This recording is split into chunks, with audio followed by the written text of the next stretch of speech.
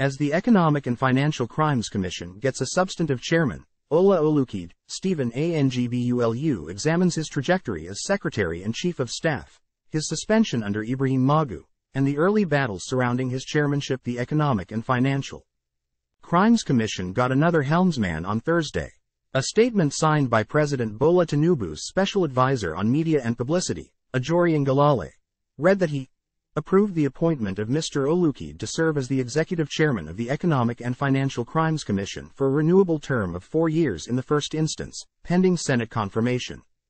Time equals 400 ms, greater than Ngelale, as though preemptive of the fireworks that would follow, prefixed the announcement with by the powers vested in President Bola Tinubu as established in Section 2, 3 of the Economic and Financial Crimes Commission, Establishment, Act, 2004, that the chairman and members of the commission, other than ex officio members, shall be appointed by the president.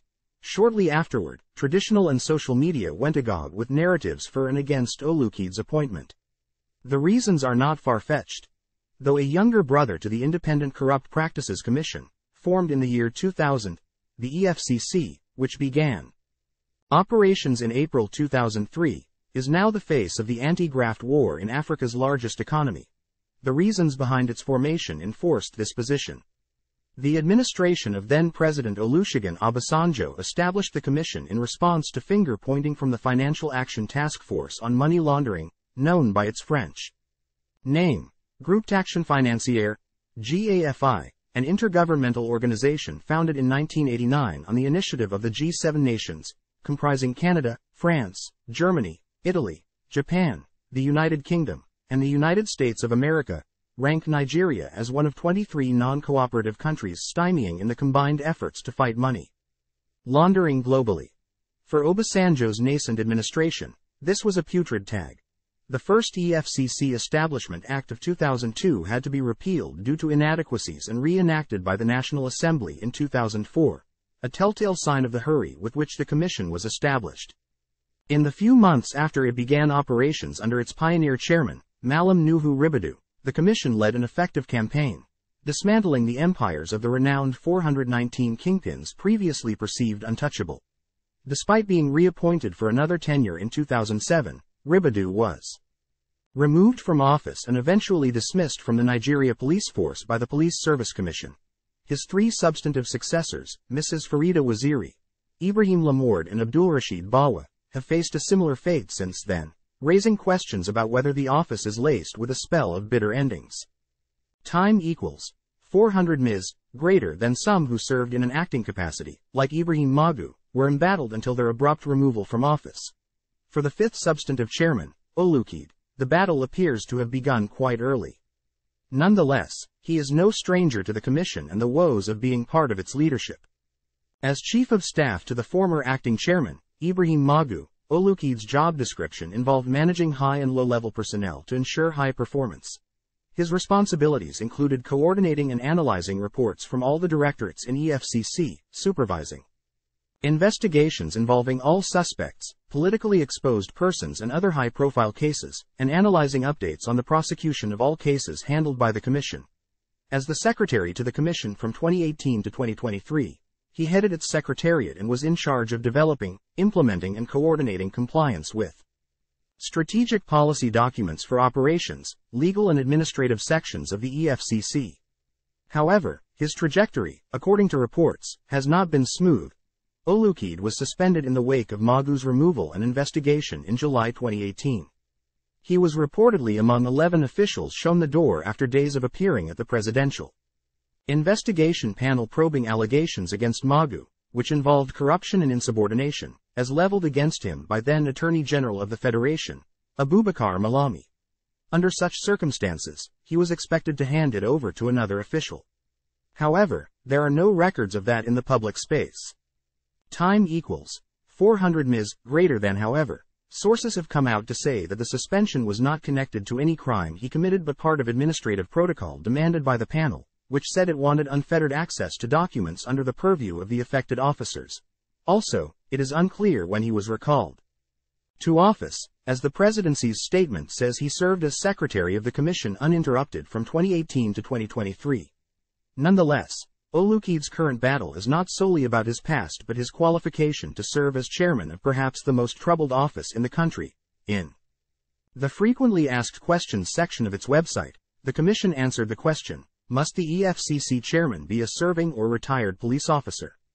It said, no. Section 2, uh, E, of the EFCC Act 2004 clearly states that the Commission's chairman must be a serving or retired member of any government security or law enforcement agency not below the rank of Assistant Commissioner of Police or its equivalent and, E, possess not less than 15 years cognate experience.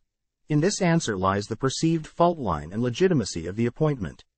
In the court of public opinion, the narratives have been polarizing, prominent amongst voices kicking against Olukoyede's Appointment as lawyer and spokesperson for the Atiku campaign organization in the 2023 presidential elections David Bwala.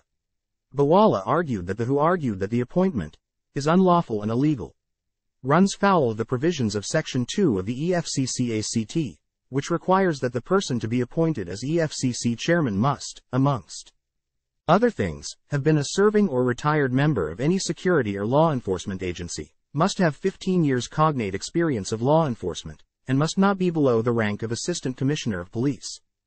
Bwala argues that Olukoyede is a private legal practitioner and has never worked or belonged to any security or law enforcement agency as a member. He also does not have 15 years cognate experience as a law enforcement officer, the lawyer claimed, adding that his private legal practice years cannot be equated to the rank in law enforcement. Not enough attending seminal courses as a private legal practitioner can equate to 15 years cognate experience contemplated by Section 2 of the Act. Time equals 400 ms, greater than according to Bwala. The new Antigraft boss only has a stint as Chief of Staff of Magu and later became a Secretary of the Commission, all of which lasted for less than six years. Another user on X shared this notion, asserting that the first criterion according to the enabling law is that as the chairman be a serving or retired member of any government security or law enforcement agency not below the rank of the Assistant Commissioner of Police or equivalent. Please. Which rank of a lawyer equates to ACP? Others opined that Olukoyede is best suited as the EFCC's head of legal and an appropriate individual with the requisite qualifications and experience as chairman.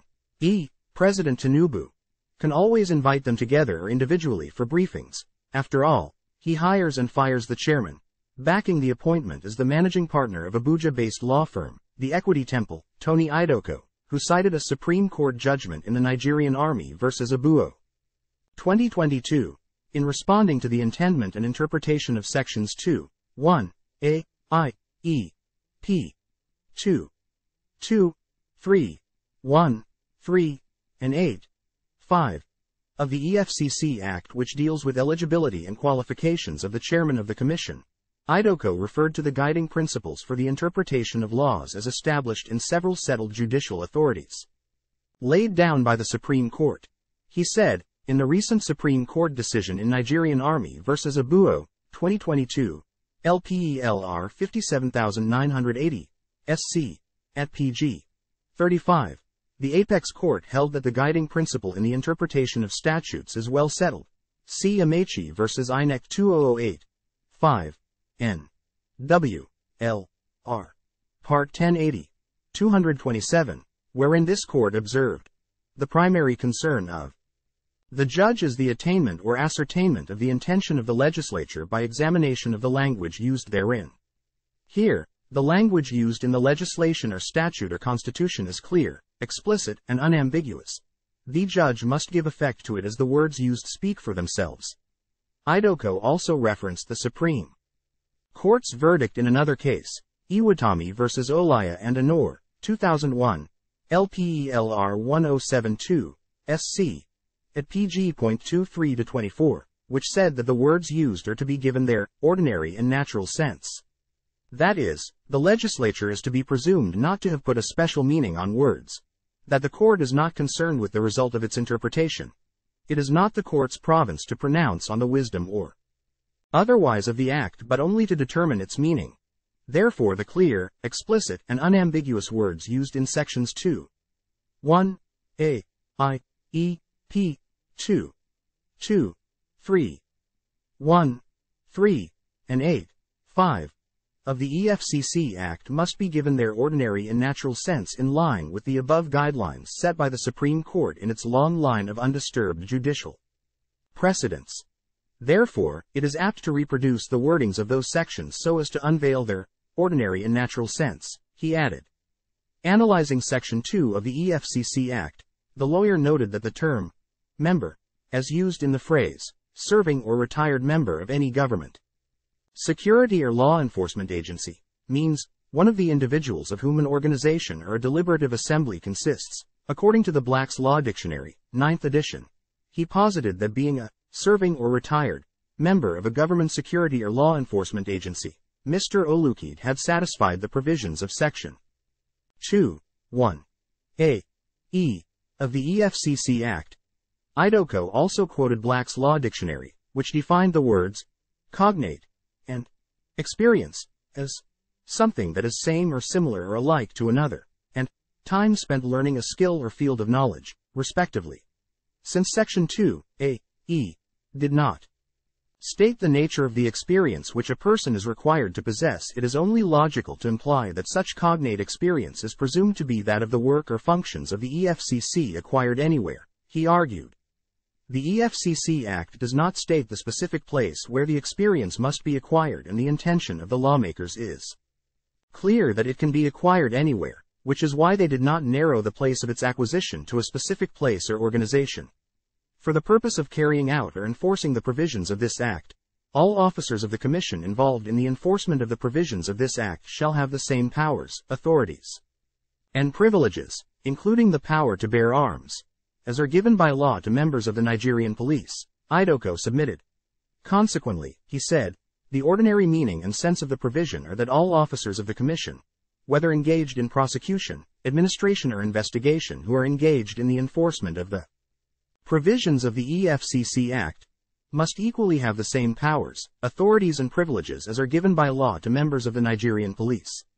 Any other interpretation of the provisions of sections 2, 1, A, I, E, P, 2, 2, 3, 1, 3, and 8, 5 of the EFCC Act different from the above is not in line with the guiding principles of Interpretation of statutes established in the above cited Supreme Court cases and therefore erroneous, misleading and probably self-serving, he concluded.